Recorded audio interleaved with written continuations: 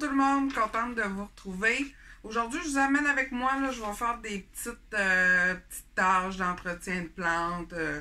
en gros, ça va être pas mal de l'arrosage. Puis ensuite, j'ai de j'ai quatre nouvelles plantes que je viens d'acheter. Donc, je vais vous montrer là, ce que je fais quand le traitement que je fais quand, quand je les achète.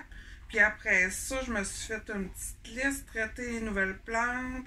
Il faut que je remplisse mes humidificateurs ici qui sont dans la verrière, sont vides. Et puis, ah oui, je vais aussi, euh, il y a quelques, quelques plantes là, que je veux couper pour faire des boutures. Fait que, écoutez, je vous amène avec moi, puis on va faire euh, ça ensemble. Fait que suivez-moi. J'ai mon premier, premier humidificateur ici.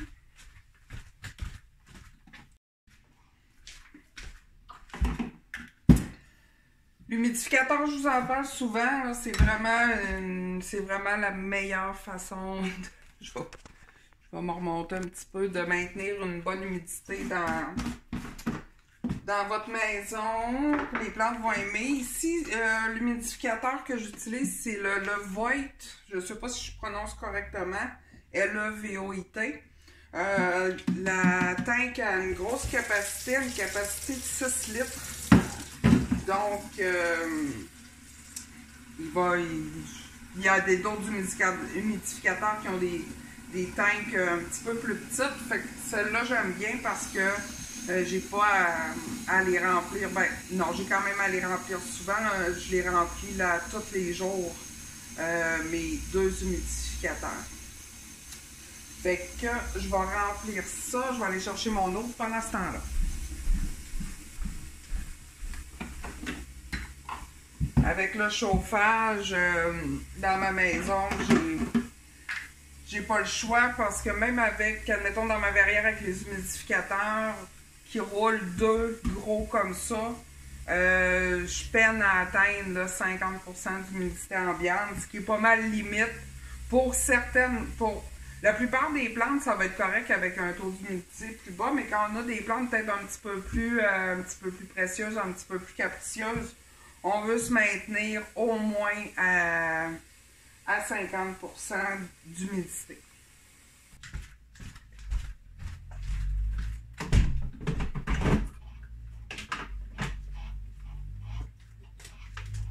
J'ai aussi, euh, je ne sais pas si on va bien voir, un petit ventilateur ici. Il n'est pas très gros, là, mais il fait quand même le travail que, que je fais tourner parce qu'on veut on veut qu'il y ait une circulation d'air, surtout quand on, a des humidificateurs qui sont proches des plantes. On veut pas que l'humidité stagne trop. Euh, ben, on veut qu'il y ait l'humidité autour de la plante, mais on veut quand même qu'il y ait une bonne circulation d'air, surtout pour mes anthuriums. Euh, ils vont vraiment aimer une bonne circulation d'air. C'est pour ça que je rajoute euh, ce ventilateur-là qui va juste bouger l'air ambiant. Fait qu'écoutez, là, je vais, vous amener, on va aller traiter les plantes, puis après ça, on va tomber dans l'arrosage. Donc, euh, les plantes que j'ai à traiter ici, j'ai euh, cette euh, Montserrat que, que j'ai acheté cette semaine. Ensuite, j'ai une une Birkin, euh, Philodendron Birkin. J'ai vendu celle que j'avais, je la trouvais trop grosse. Puis là, euh, j'en voulais une plus petite. Fait que j'ai trouvé celle-là qui est super, euh, super mignonne. Puis après ça, ben là, j'ai un deuxième Adansoniae là, que, que j'ai reçu dans la commande que j'ai de Flore Co de mon dernier vidéo que je vous disais, là, il a gelé, puis en effet, là, regardez, là, euh, c'est la seule plante qui a gelé dans ma, dans ma, dans ma commande. C'est sûr que la Dansoniae, il y a des feuilles plus minces, fait que c'est plus sujet, mais il n'y a rien de perdu, là, avec cette plante-là, là, c'est vraiment pas la fin du monde. Euh, fait que, mais je vais la traiter pareil. Puis après ça, il y a aussi euh, le philodendron lemon lime que j'ai aussi reçu là, dans, dans cette commande-là que, que je vais traiter. Là, j'ai oublié, je vais aller me chercher euh, mon bac je vais vous montrer qu'est-ce que je fais en premier. Fait que j'ai mon bac où ce que je jette ma, ma vieille terre. Fait que ce que je vais faire normalement, là, c'est que je vais aller enlever à peu près le premier pouce de terre, là, euh, vraiment la terre du dessus. Je vois avec un petit instrument, là, puis, ou mes mains. Puis je viens enlever le premier pouce avant de traiter. Parce que si, admettons, on a des indésirables, euh, ils vont, ben, comme vous savez, comme j'ai déjà expliqué, ils vont, euh, ils peuvent se retrouver sur le feuillage, mais ils peuvent aussi se retrouver dans, euh, dans le terreau. Puis souvent, ben, les, les indésirables, ils iront pas là, jusque dans le fond du pot. D'habitude, ils se tiennent là, au, au premier pouce, deux pouces de terre. Fait que là, j'enlève jusqu'à temps à peu près que je sois rendu là comme là, je vois qu'il y a des racines. Fait que là, ça, c'est bon pour moi. Fait que je vais faire ça avec... On fait attention parce que des fois, ben, la plupart du temps, les racines se retrouvent au, dans le fond du pot, mais on peut quand même avoir des racines là en surface, fait qu'on veut pas euh, on veut pas aller les briser. Ou ce que je fais carrément là, c'est que je sors la plante euh, de son pot, puis je vais enlever doucement le premier euh, le premier pouce de terre. Fait qu'elle, on voit là qu'elle a des très belles racines. Elle n'est pas due du tout pour être rempotée. Je vais probablement la rempoter là. Euh, je vais attendre au printemps, mais ce que je vais faire, c'est que je vais remettre une couche de terreau sur le, dessus une fois, une fois que je vais avoir traité. Encore une fois, ici, hop, là, ben là, la motte, euh, la motte est venue au complet. Le terreau, c'est tout défait. Fait que c'est pas grave. De toute façon, celle-là, je vais la... Je vais la bouturer. Je vais la mettre en eau. Mais euh, c'est ça, même si elle a gelé, les racines sont super belles, sont super saines. Fait que là, je vais la traiter, euh, je vais la traiter comme ça. Puis là, le philodendron, ça, c'est sûr que là, une plante comme ça, c'est plus difficile.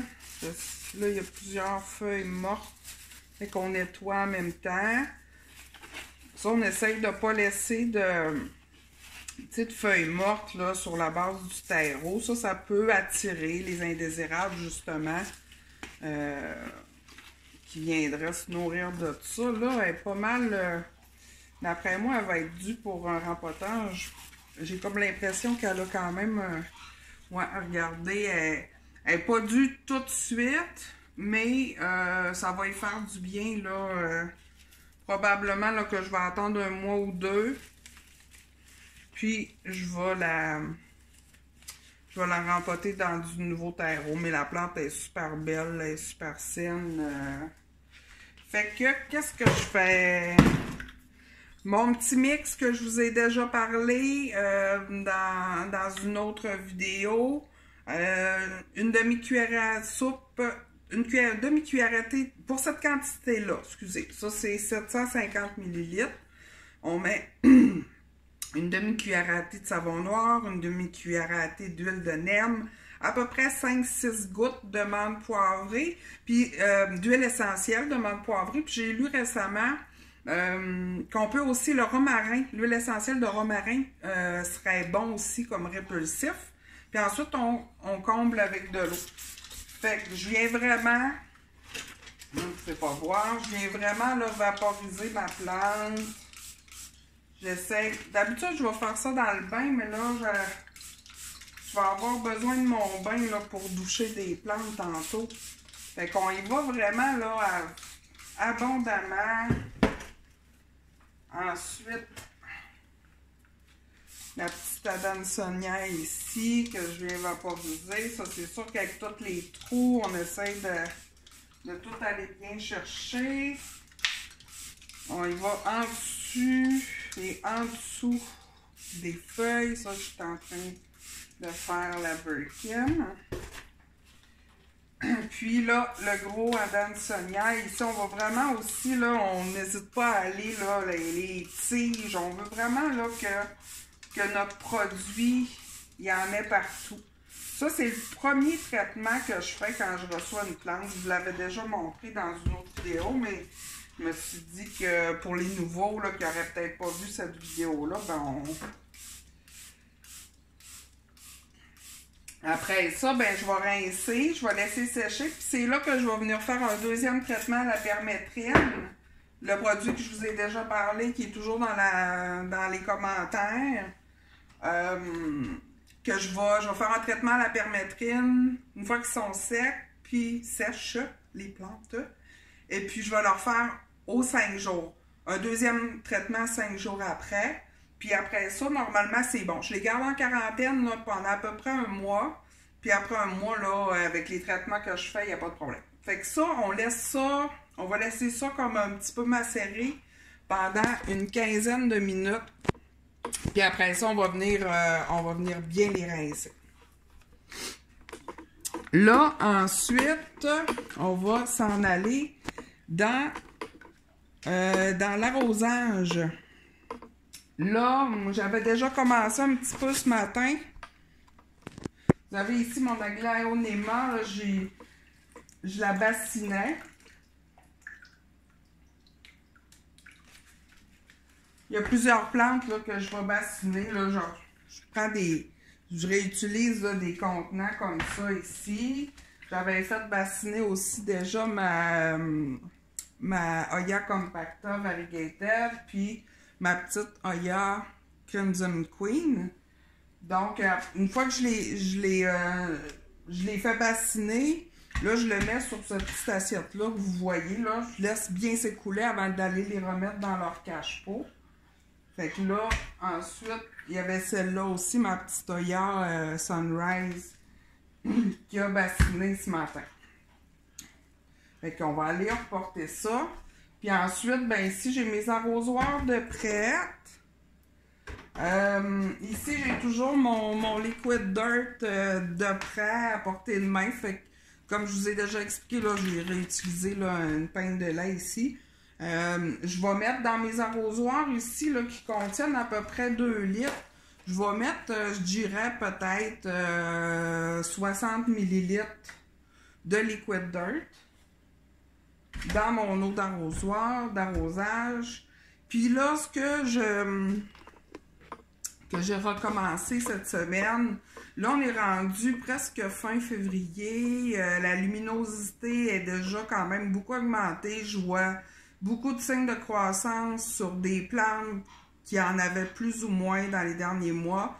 Fait que ça veut dire que là, les plantes sont comme en train de se réveiller. Fait que là, j'ai recommencé à donner du, euh, du 20-20-20.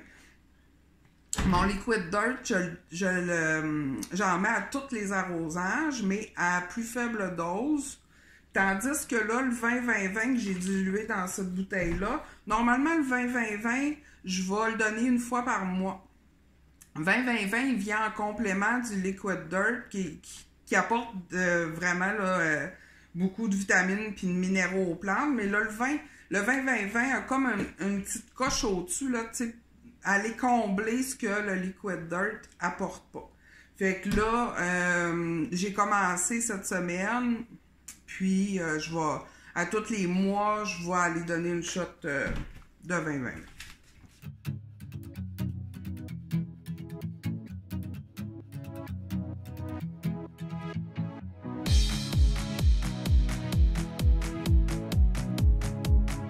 Bon, fait qu'on va faire le tour. Là, je suis ici mon cassoulant et puis ma, grosse Oya Queen. Je l'ai déjà arrosée il y a à peu près deux jours. Là, ici, elle aussi, j'y en avais donné, mais ici, euh, comme vous voyez, là, il y a la plainte de chauffage qui est juste en dessous, fait qu'ils ont quand même besoin, euh, quand même besoin d'un petit peu plus d'eau. Ensuite, ici, elle aussi, ma grosse, euh, ma grosse clivière. Elle est proche du chauffage, puis en plus, elle est dans un pot de terre cuite. Là, ici, Ça, ça n'a pas besoin. J'ai quand même ça aussi, j'ai arrosé. J'arrose un petit peu. je pense à, tous les jours, mais euh, peut-être une fois par semaine, là, je viens euh, faire un, arrosage qui est plus complet. Ça, c'est un nouvel anthurium que j'ai acheté il n'y pas longtemps. Je le trouve je le trouve tellement beau, là. Regardez, ça, c'est une nouvelle feuille là, qui vient de sortir. Je le trouve vraiment, euh, vraiment magnifique. Ici, on a un petit euh, Monstera Siltepecana que j'ai bouturé. Euh, fait que là, il est en train de pousser. Puis ici, j'ai un petit philodendron gloriosum que j'ai bien hâte de voir là, avec, euh, avec des, plus grosses feuilles. Puis ici, là, j'ai un petit philodendron brandtianum là, que j'ai vraiment de la misère avec. Je le laisse pousser, puis je vais tout le bouturer. pour leur, leur partir, euh, leur partir à neuf. Ici, on va l'arroser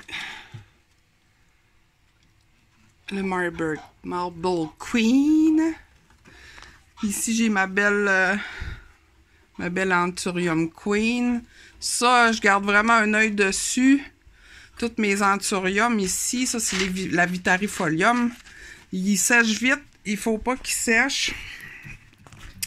Donc là, je vais aller me chercher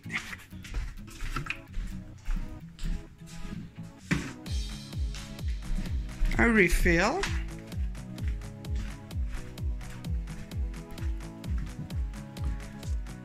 Hein?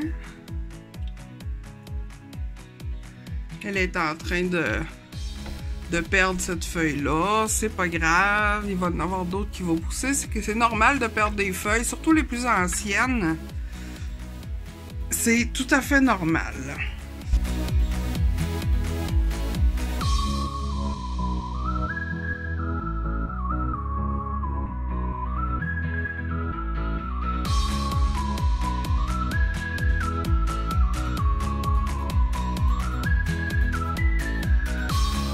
Ça, a été arrosé. Oh, regardez!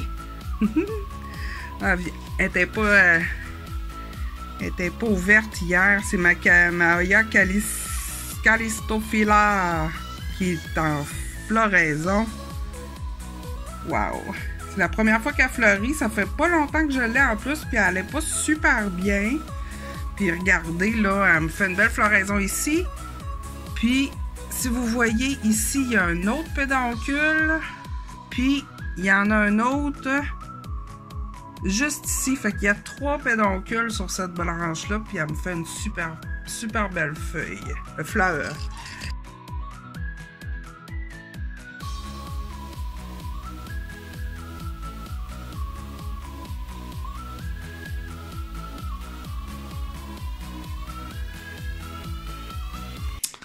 On est dans ma salle de bain. J'avais déjà arrosé pas mal mes plantes euh, cette semaine. Puis regardez, j'ai un autre même principe dans la salle de bain. Là, euh, ici, je faisais bassiner mon, mon Spatifalium euh, domino, qui avait vraiment la mine basse.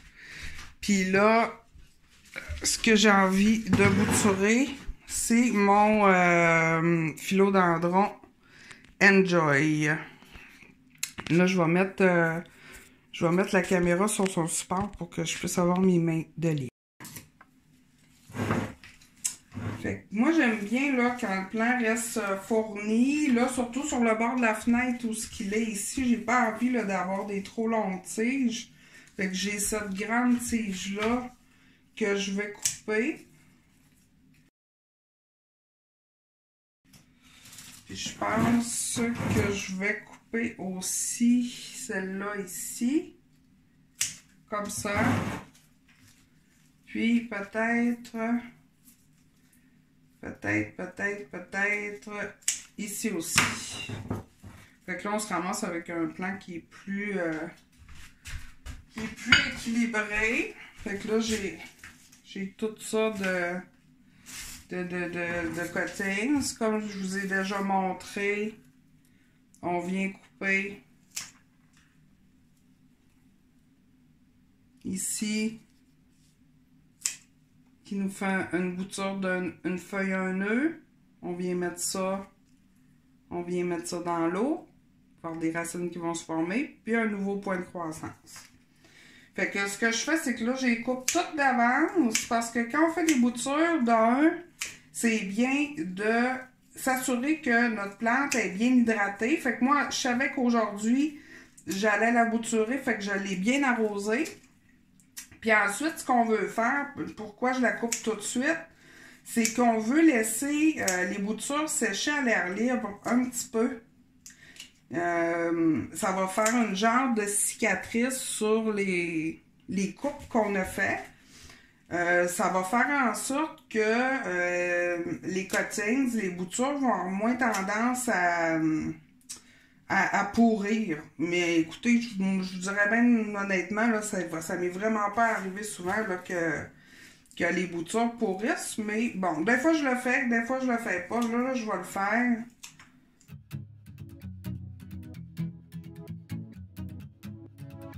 Laissez ça ici sécher. Je vais revenir chercher ça tantôt. Puis, euh, je vous amène l'autre que je voulais couper. C'est mon philodendron Mycans ici je bouture vraiment souvent, puis il pousse, euh, il pousse, il pousse. C'est vraiment une. Je vous le dis souvent, là, c'est une de mes plantes préférées, tellement belle. Puis elle est super facile, euh, puis elle pousse. Elle pousse vraiment bien. Puis plus on la coupe, puis plus elle pousse. Puis ça fait qu'elle se ramifie aussi en la coupant.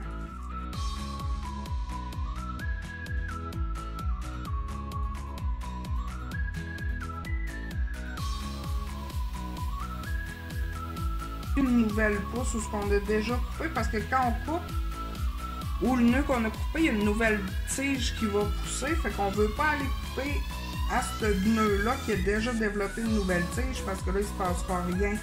Fait que ça, c'est important C'est quand même important de regarder ça quand on fait des boutures. Puis là, ben, vu que je l'ai déjà coupé beaucoup,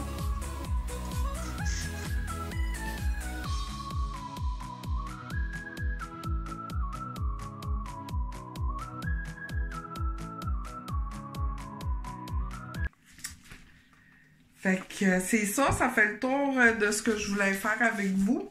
J'espère que vous avez apprécié là, faire les petites tâches d'entretien de plantes euh, avec moi. N'hésitez pas à me laisser à me laisser vos commentaires, vos questions. vous pouvez peut-être me dire qu'est-ce que vous aimez dans, dans prendre soin de vos plantes. Moi, prendre soin de mes plantes, ça, ça me rend ça me rend sereine, ça me relaxe. Euh, quand je fais ça, je vois pas le temps passer.